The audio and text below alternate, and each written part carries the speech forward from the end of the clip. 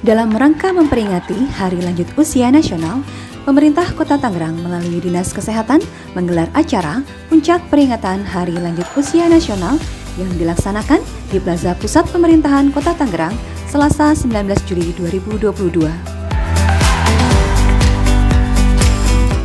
Pada acara yang dibuka langsung oleh Bapak Wali Kota Tangerang, Bapak Arif Erhusmansyah ini, turut menghadirkan kader posyandu lansia dan perwakilan lansia dari 38 puskesmas, serta pengelola program lansia di puskesmas sekota Tangerang.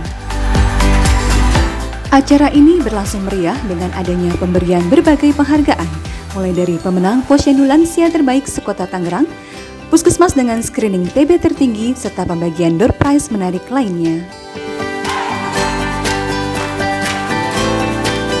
Sesuai dengan arahan Bapak Wali Kota Tangerang dalam sambutannya bahwa lansia Kota Tangerang harus sehat dan bahagia, pada kesempatan ini para lansia juga diajak untuk senam bersama dan games menarik lainnya.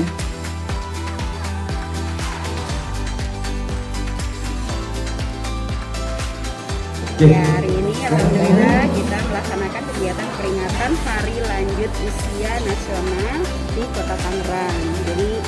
Merupakan puncak kegiatan dari rangkaian kegiatan yang dilaksanakan oleh Dinas Kesehatan, Puskesmas, Posyandu ya, di Kota Tangerang. Dalam momen peringatan Hari Lanjut Usia ini, Dinas Kesehatan juga meluncurkan inovasi peri lansia atau pendamping perawatan risiko tinggi lansia yaitu caregiver atau pendamping lansia yang berperan mendampingi dan membantu lansia untuk melakukan kegiatan sehari-hari sehingga dapat mempertahankan kualitas hidup yang optimal. Jadi peri lansia itu adalah pendamping resiko tinggi lansia. Jadi mereka ini adalah para kader bisa, para keluarga eh, yang sudah dilatih oleh dinas kesehatan maupun oleh puskesmas mereka dilatih untuk bisa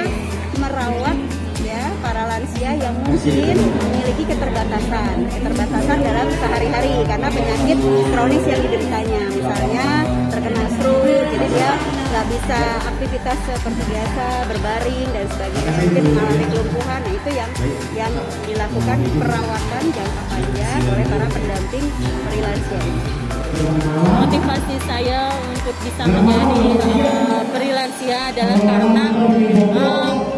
sebagai pendamping.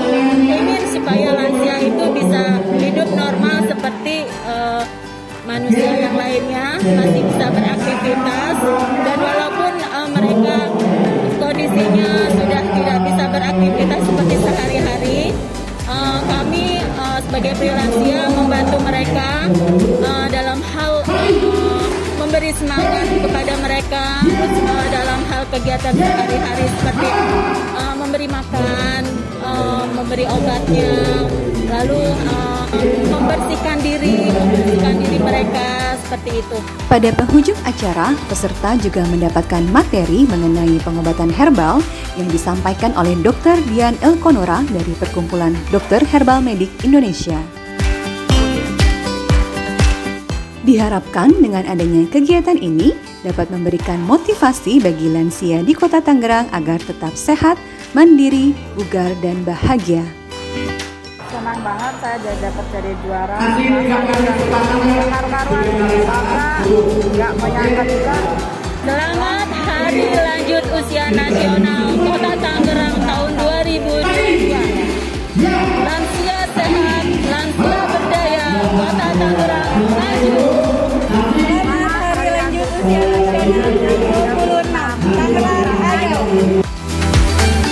Selamat Hari Lanjut Usia Nasional ke-26. Lansia sehat, lansia berdaya, Kota Tangerang maju. Tangerang, ayo!